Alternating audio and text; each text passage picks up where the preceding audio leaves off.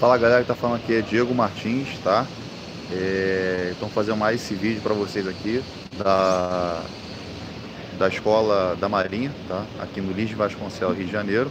Nós estamos fazendo uma reforma de fachada, esse aqui é o vídeo parte 2 e estou mostrando agora, passa, dar uma passada aqui rapidinho para mostrar pra vocês como é que tá ficando, tá? Esse trecho aqui da fachada, tá? Nós estamos fazendo um tratamento impermeabilizante de todos esses rufos aqui, fora fora. Tá tendo muito vazamento aqui embaixo. Nós estamos fazendo recuperação da fachada. Vocês podem ver, tá vendo? Isso aqui conforme você vai mexendo, vai abrindo, vai raspando, vai, ter, vai cada vez mais abrindo, ou seja, é um revestimento externo já antigo, né? Sem mexer, já na época se utilizava muito saibro e por aí vai. E com o passar do tempo não tem manutenção, ele aos poucos vai caindo, né? Vai perdendo sua resistência e vai caindo. Então a gente começou a raspar todas as partes soltas, fazendo testes de percussão. E um buraquinho desse tamanho se tornou esse buraco todo aqui. Né? E pelo que eu estou vendo, vai abrir alguns pontos ainda mais, tá? Então nós já aplicamos já algumas recuperações, já começamos a pintar algumas janelas, tá?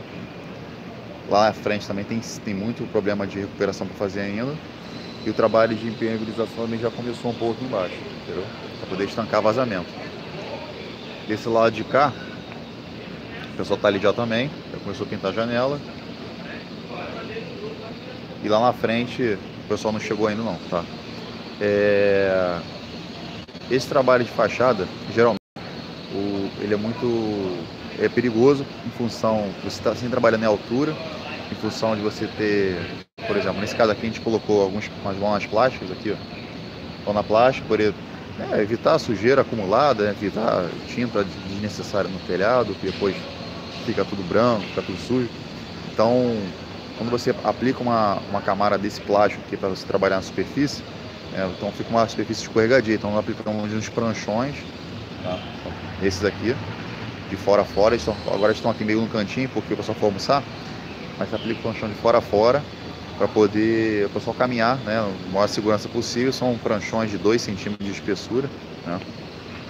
E inicialmente nós tínhamos bolado um esquema de montar uns andames nesse sentido aqui, na vertical, com os pranchões direto para lá, entendeu?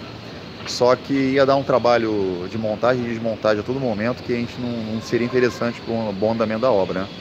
Então nós decidimos trabalhar com eles aqui em cima, tá?